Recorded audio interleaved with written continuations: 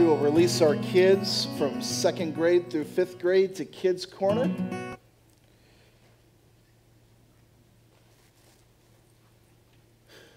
It's good to be in the house of the Lord together. Amen. I was a young man in ministry when a gentleman by the name of Jay Kim invited me over to his house. Uh, Jay Kim grew up in South Korea and had moved to the States a little bit later in life, and he was a really godly man that I really loved spending time with. Uh, he actually uh, started a ministry and kind of launched this missional effort to reach the folks in North Korea. And uh, he started this ministry where they built these little boxes with tracts in them and information about church, and it was attached to a balloon that would go up over the border into North Korea, and then it would like self detonate and all of the flyers and everything would like go all over this field where Christians in North Korea knew where to go and to be able to find them and then spread them around uh, that area of their country. It was very like secret agent church kind of stuff. Like I really liked it. And Jay was just a really cool guy. He was like in his 70s, and um, he invited me over to his house, and I thought we were just gonna like sit and pray together, or chat, or talk, or hang out. And he said, No, we're going to pray together. I was like, Okay, cool. So we sat down, and he's like, Hey, let's, let's pray together. So I get my hands out, and I'm like, All right, man, let's go. I look up, and like he's not going for my hand. Silent moment kind of goes by. He slowly reaches over, grabs a candle that's on his dining room table, moves it over closer to him, opens up his Bible, and then just sits there for like a really long time. You know that point in time where it's like an uncomfortable length of silence and you're not sure what to do? We were like well past that. And then he started to pray. He started to pray a very slow, intentional, focused prayer over me. And I don't mean that he prayed for me and all the needs that I had and all the concerns I was walking around with. He didn't even ask me what I needed prayer for. To be honest, I don't really think he cared in that moment. He started to pray things over me and for me that nobody had ever prayed for. That something would happen in and through me, that my eyes would see things I haven't seen before, and that I would experience the presence of God in a way that I hadn't before. And as he kept praying, I kept thinking, I was like, this is wild. It was weird, it was strange, but it was very impactful. It was probably the greatest prayer experience I ever had in my life up until that moment. And I walked away from that time together thinking, I really don't know what prayer is anymore. I thought he was going to pray for my kids and this and this and that and issues going on in the world and this and that, but he didn't. He prayed for something supernatural to happen in and through my life. Paul's prayer over the church in Ephesians chapter 3 is kind of like that. It's one of his greatest works that he ever wrote. And it's a prayer that I hope we can grab a hold of as a church, and also you can grab a hold of in your daily life as you walk with Christ as the church. And so we're going to hear it now. Let's stand together as we hear from Ephesians 3 14 through 21. For this reason, I kneel before the Father, from whom every family in heaven and on earth derives its name. I pray that out of his glorious riches he may strengthen you with power through his Spirit in your inner being, so that Christ may dwell in your hearts through faith and I pray that you, being rooted and established in love, may have power together with all the Lord's holy people to grasp how wide and long and high and deep is the love of Christ, and to know this love that surpasses knowledge, that you may be filled to the measure of all the fullness of God. Now, to him who is able to do immeasurably more than all we ask or imagine, according to his power that is at work within us, to him be glory in the church and in Christ Jesus throughout all generations, forever and ever. Amen. This is the word of the Lord. You may be seated. Father, speak to us today. Help us to catch things in this text and through your word today that we don't leave here the same. be with me as I've wrestled with this text for the last couple of weeks. And Lord, I just thank you for the work you're going to do today. Amen. Jesus going to do a work today? Yeah? You ready for it? All right. All around the world, every day, somebody is praying. Right now, somebody is praying somewhere around this world. It could be a Jewish person reading the Torah, the Torah, and just kind of experiencing God in the presence. It could be somebody in a mosque. It could be a New Age person praying to the universe. It could be an atheist sitting in a hospital bed for the first time, folding their hands together because a loved one of theirs is dying and they don't know what else to do. Somebody today, somewhere around the world, is praying. So, what makes the prayers of Christians different? When we pray, what makes our prayers distinctive? What sets us apart from the rest of the world? As a pastor, I've walked with people for years who are honestly like scared to pray, especially out loud. You ever encountered folks like that? Maybe you're one. You're somebody like, somebody says, hey, could you pray over us? And you just like clamp up. You're just like, you don't know what to do because you're afraid you're going to say something wrong or you're going to mess something up and that there's some special formula to prayer. And there's really not. Prayer is, in its simplest form, as you probably heard before, is talking to God. But I think that we do get insecure at times, not because we are afraid of prayer, but because we know deep down in our souls that prayer is meant to do something. Prayer has purpose, it has meaning. We have people in our lives who have prayed over us, and our lives have changed because of it. And so we get insecure at times because we know that prayer does matter, it is important. And I think sometimes our prayers, especially when the ones we feel really insecure about, they're not bad prayers at all. I just find that at times we can be a little short sighted. Because the prayer we just read from Paul is a deep, beautiful prayer. And not one that very many of us, I think, pray continually for each other or over the church. And even though our prayers can be a little short sighted, I think it's just because at times we have the wrong perspective on what prayer does. Um, I want to illustrate it this way. Uh, I have this picture of my son Jacob when he was little. This was the first time he had encountered a hose the very first time. He played in bathwater. He loved to, you know, play and make worlds and splash around. But now he had all of that water at his disposal and control. This hose, he could harness all of the power of that water that he loved, and he could spray himself. He could spray other people. He could do it at different speeds and volumes and the amount. And there was all kinds of power that he had in control of. And although he loved that element of water, a different encounter with water he had a different reaction to. And that was when he encountered a pool. When he encountered a pool, he was excited about it. He thought it was cool. But a pool is different. You do not control the water in a pool like you do a hose. A pool is just something you have to get into and learn about yourself in the midst of how to, let's not even say conquer it, but discover new depths of it. So we got them, you know, training for swimming. We got them, you know, learning how to float, learning how to breathe under, not breathe underwater, but hold his breath underwater, hold his breath underwater, how to breathe different, how to be able to reach. Remember those rings you throw at the bottom of the pool and your kids would dive for the rings? He had to learn, and all my kids eventually had to learn how to do all those things. They had to learn how to find new depths in the pool. And as they found new depths in the pool, it wasn't really anything they learned about the pool so much as it was they learned about themselves. They learned their own limitations. They learned how far they could go, how far they couldn't go, how much they needed water, how much they didn't need, or air, how much they didn't need air. I think we treat prayer like a hose most of the time. Lord, do this for me.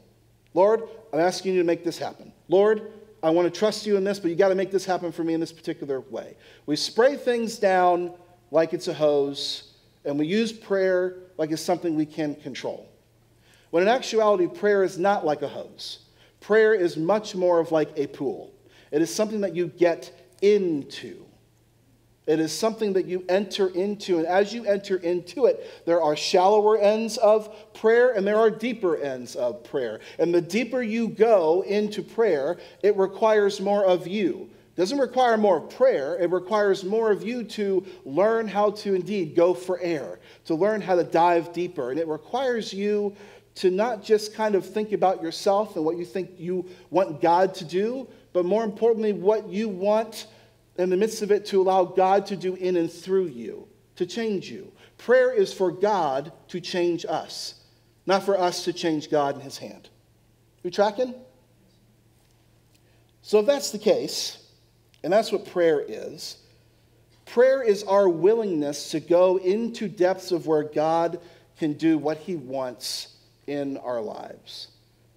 I love what N.T. Wright says. He says, Christian prayer is simple in the sense that a small child can pray the prayer Jesus taught, but it's hard in the demands it makes as we go along with it.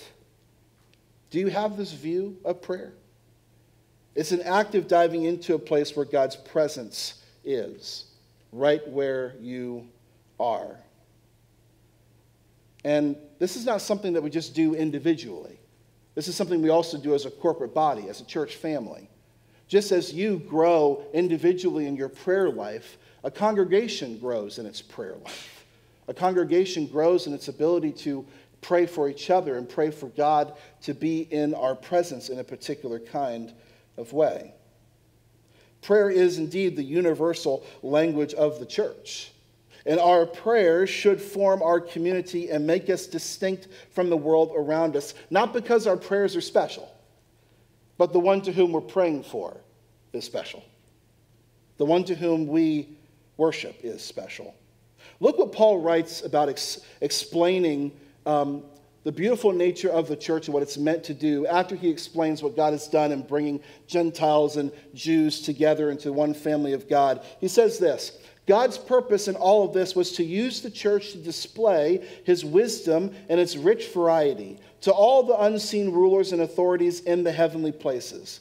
This was his eternal plan, which he carried out through Christ Jesus our Lord. Because of Christ and our faith in him, we can now come boldly and confidently into God's presence. Our church, your life, is meant to, in some way, shape, or form, reveal God's wisdom to the world. Do you wake up thinking that? I can barely, like, seek wisdom in my own life half the time, be one that I'm going to display God's wisdom to the rest of the world through how I am the church. But this is what the church is supposed to do.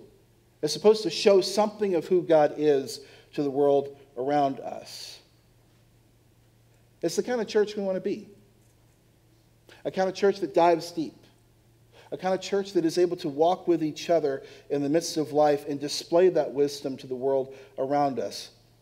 And there's a difference between a church that has people that pray or has even prayer meetings and a praying church. I know that sounds weird, like now they're the same thing. People that pray and a praying church. No. A praying church has something different going on.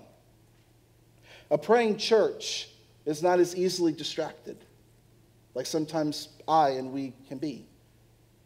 We can be a people who, yes, have prayer meetings and have prayer times and have a prayer list, but we need to continue to search and dive into what it means to be a praying congregation, one that is always in prayer together, not having to wait for a pastor to do a pastoral prayer.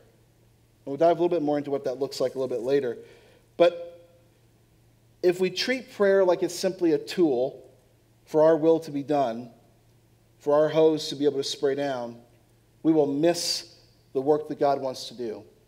And we will miss the vulnerable nature of what it means to be shaped by Him. And we'll live a shallow faith. I mean, have you encountered people in your life who've been following Jesus for a number of years and they pray for a number of years, but they never seem to have peace? Worry, worry, worry, worry, worry, worry, worry, worry, worry. Have you encountered people who have followed Jesus for a number of years, but they've never really been able to overcome not just certain insecurities, but they've never really been able to come into the presence of God in their everyday life? These are the things we want to change and we want to shift. We want to be a people who enter into prayer every day of our lives and live that out in and through. A community that confesses Jesus as Lord should be moving towards new levels of connection with God and each other. So we need a new perspective on prayer. Paul's going to give it to us in his prayer over the church. He starts off by saying, For this reason, I kneel before the Father. Right away, we learn that prayer is an act of submission. It's an act of saying, God is God and I am not. Let's say it together, just so we have interaction. Say, God is God, and I am not. Whoo, didn't that feel good? Feels good to me. It feels good to me to admit I am not God. Therefore, when I pray, that is my very first admission. I cannot control everything. I need God in my life. He is the Lord. Kneeling is a posture of being able to say, I'm trying to figure out how I can do this up here. When I kneel, for those of you who can't see, I'm sorry. When I kneel, can I make anything happen at this point? Can I avoid anything if I'm kneeling? Can I run to something if I'm kneeling? No. I'm in this position here kneeling because I'm saying, this is all I got. this is it. I can't run, I can't hide, I can't avoid, I can't make something happen. I am in submission. I have my body in a position where I can't do anything but just be here. That is the first act of prayer. I'm not going to try to make something happen. God's power is greater, and I want to submit and find peace in that. But notice he says, Father. Yes, there's submission, but it's a relational submission. It's a submission to a heavenly Father who loves and cares for us. When I think about this verse, I think about um, my kids when they were little, especially my youngest son now, Asher. He'll do this sometimes when he's in need of something or he's hurt himself or he just wants to feel safe. He'll come walking up to me, if I'm, especially if I'm sitting down, and he'll just kind of like fall in my lap, like this, and grab a hold and embrace. And he'll just say, Dad, I'm hurt, or I'm sorry, or whatever it may be. But when he does that, it's this twofold thing of it's an act of loving embrace and saying dad i need you right now. I need help. I need you to help with this bruise i have. I'm sorry for what i did. Or i just love you. But it's also in a way an act of submission. It's an act of him saying i can't make anything happen right now. I just want you. That's what i think about when i think about kneeling to the father. Yes out of reverence and love and honor but also an embrace an embrace of saying, God, I just need you. I just need you. he goes on to say of our Heavenly Father, from whom every family in heaven and on earth derives its name. And we don't have a whole lot of time to dive super deep into that, but you read it correctly. Every family in heaven and on earth, all of creation, heavenly beings and creatures, and earthly beings and creatures. All of creation finds its origins, its purpose, and its place in God. And he says, I pray that out of his glorious riches he may strengthen you with power through his spirit and your inner being, so that Christ may dwell in your hearts through faith. Some of us live lives as though God is stingy and like unresourceful. I can't do much. And He's not. God is the creator of the universe. He has so much to give us. He has so much love and presence to be in our lives. Do we pray in this way? Or do we pray like we're on survival mode? Do we pray as though God can't do anything, but he's our last resort? Or do we pray as though God truly can overflow into our lives in a particular way where we don't have to live a life of scarcity. Even if you don't have anything, you can live a life of abundance in Christ. and what God has given to you. And look at the Trinitarian nature of what Paul is saying here, right? We see this again, kind of like we did last week. God the Father has so much to give us, and we'll experience this not through a rule book or some secondhand guide or impersonal way, but through his very spirit that lives in us, so that Christ may dwell in our hearts. The entire biblical story is about God wanting to dwell with and in you. And don't miss this inner being line that Paul has. Christ wants to dwell with his people and in his people. And it's this inner being that happens. It's not about just what we display outwardly. Christ wants to work in and through you on a personal, inside level. The work of God is an inside job that then finds its fruits on the outside. And that's why we pray in certain ways. We pray for internal transformation. Not necessarily my circumstances to change, but for me to change in the midst of my circumstances. He wants to empower you and give you strength to live the life He's called you to. He wants to empower us as a church to live out the mission God has given us to love Him and to love others. And he says this I pray that you, being rooted and established in love, may have power together with all the Lord's holy people to grasp how wide, long, high, and deep is the love of Christ, and to know this love that surpasses knowledge, that you may be filled to the full measure in the fullness of God. That's a lot there, but did you catch it? Look what he says. While being rooted and established in Christ's love, we should both be able to grasp God's love, but it's also love that surpasses knowledge. How's that possible? Do you find that in your relationships that you have? Like with your spouse or kids or grandkids or friends? There's a love that, like, you understand it, but at times they do things where there's a love that just kind of blows your mind from them. I'm still amazed that Leslie said yes all those years ago. There's a knowledge here of God's love that should blow our mind. But we should also be able to somehow even be able to grasp it in some way, shape, or form. It's a love that is wide enough to embrace the whole world. It's a love that is long enough to last all of eternity. And it's a love high enough to reach the heavens and the cosmos and all creation. And it is a love deep enough to reach the lowest of sinners. This is a love that we get invited into.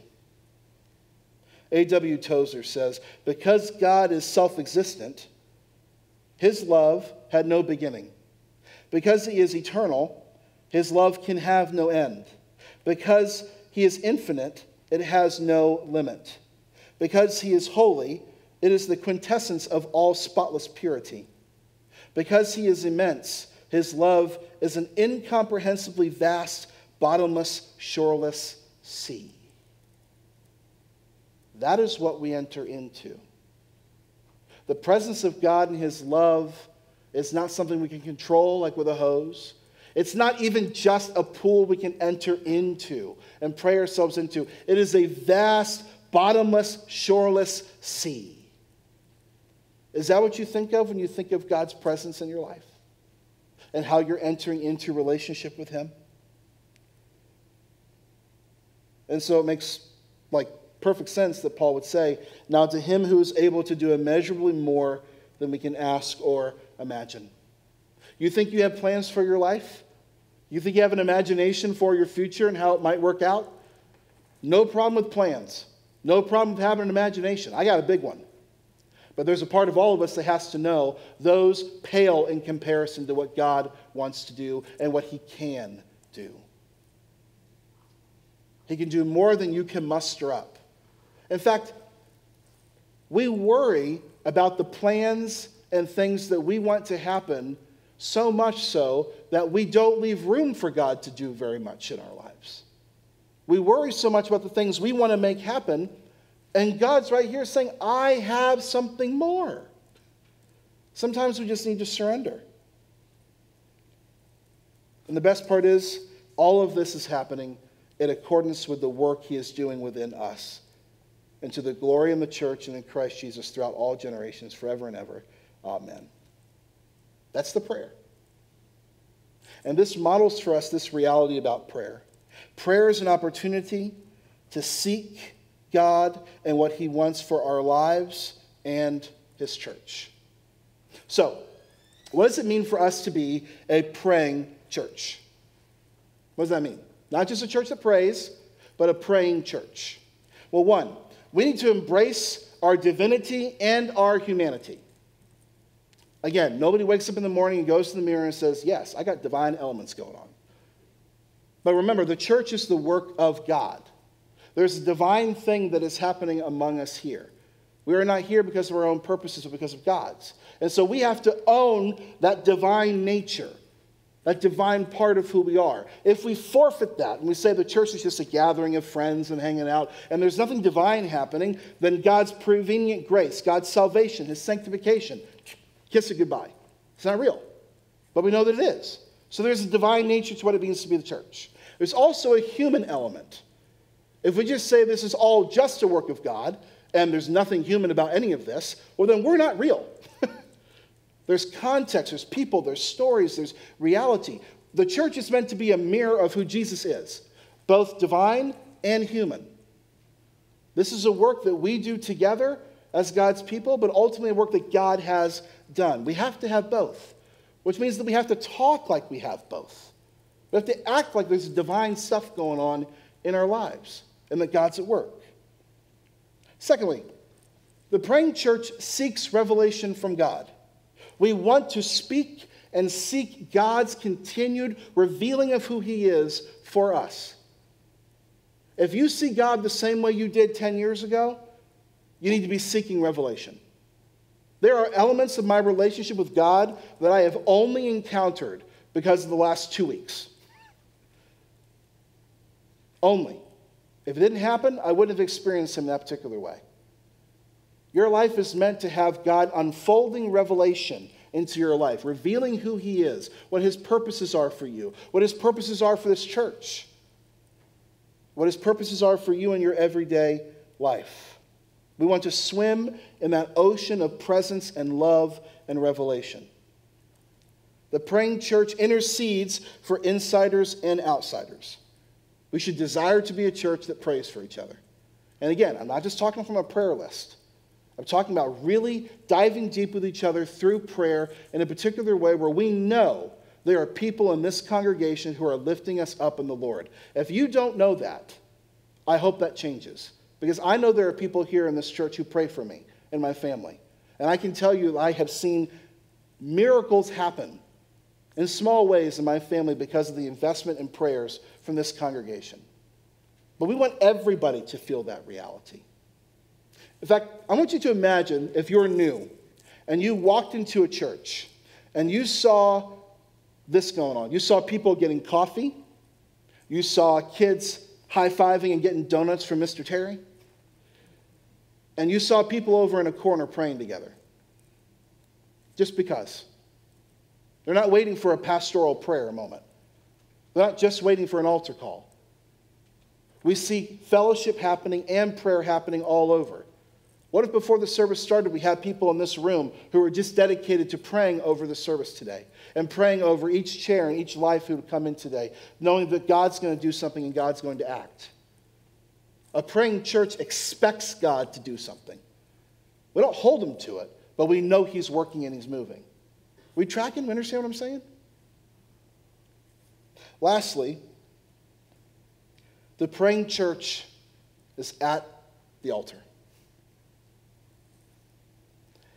An altar is a place where God's people come to pray, make offering, and humble themselves for the Lord. You can turn anything into an altar. I remember one time I was at a restaurant with my friend, and we were um, eating, and had, our waitress came up, and we were chatting and talking, just having a good time, and we just asked her, hey, can we pray for you for something? Anything at all? And she says, nah, I'm not really, not into that, not, not, not feeling it. She kind of walked away. About 30 minutes later, this woman just comes beelining through the restaurant. I thought she was going to attack me, like for real. Like it was really scary. But she came and she threw herself on the, on the table.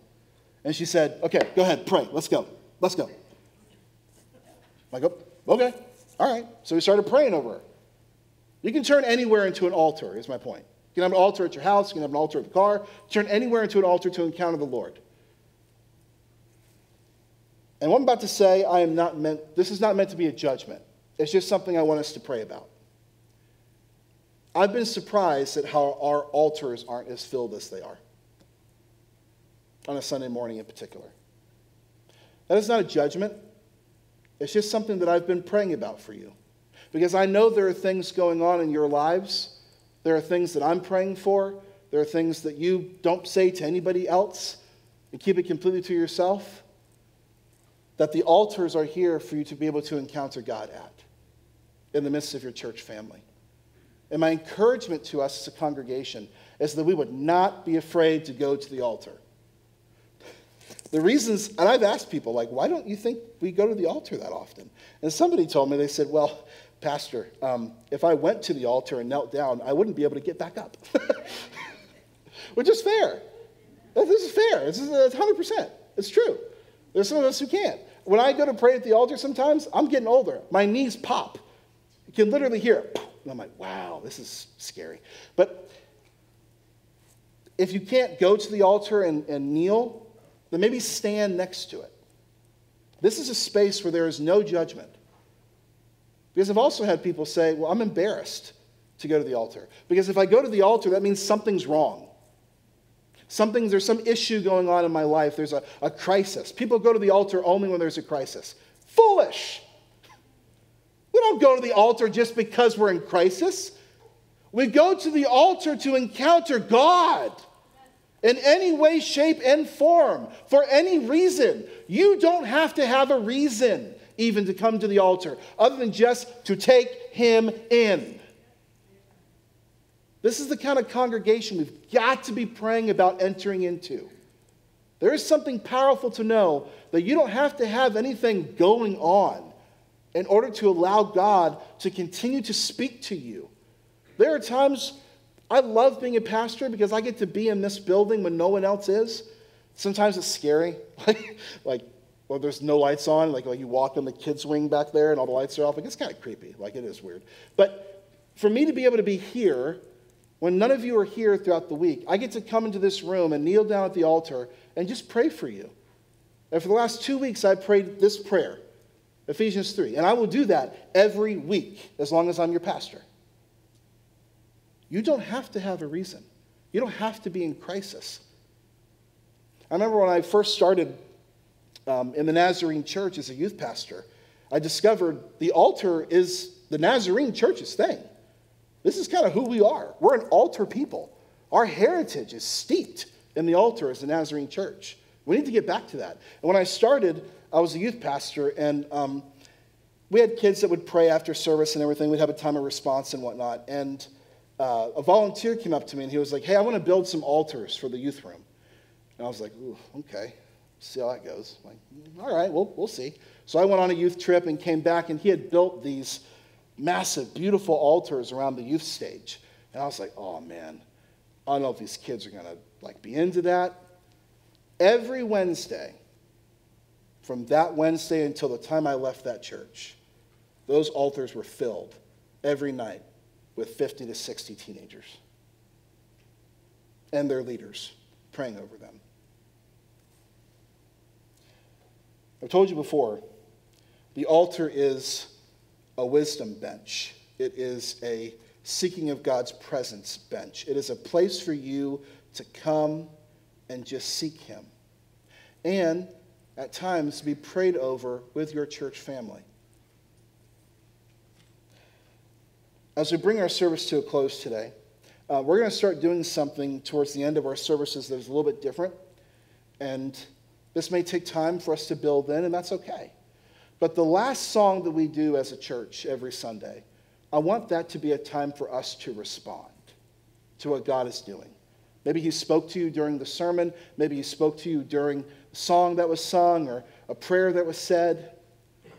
But as we stand together, the altars are open for you to come and pray for whatever you need. I'll be over here in the corner to pray with anybody who needs prayer. You need prayer for healing going on in your life? Right over here. You just come meet with me and we'll pray together. But the last song, the last chance we have to really be together in this room, needs to be a response to Him, a response of God's revelation in and through your life, a response to say, Lord, I kneel before the Father. And you can even do that right where you are. But use this time as a response to Him. Let's pray. Father, we thank you for your word. We thank you for the gift of prayer, a vast ocean that we get to enter into to experience your presence deeper and deeper each and every day. And Lord, help us to be a people of response. We've encountered you today. That should change something in us. We should leave here a different people. And so, God, no matter what's going on in people's hearts today, I'm asking that you would meet them exactly where they are, that they would feel your love and they would know your presence, and that they would see you at work in their lives. Give them eyes to see and ears to hear. Help them to know the depths of your love for them that surpasses indeed all knowledge, but that they can in some way, shape, or form grasp. And let us be a congregation that can also pray, not just for ourselves, but for those who don't know you yet that you would be working in a prevenient grace kind of way and stirring the hearts of those who need to enter into your family. And we'll thank you for the gift that it is to be the church in this time. Amen.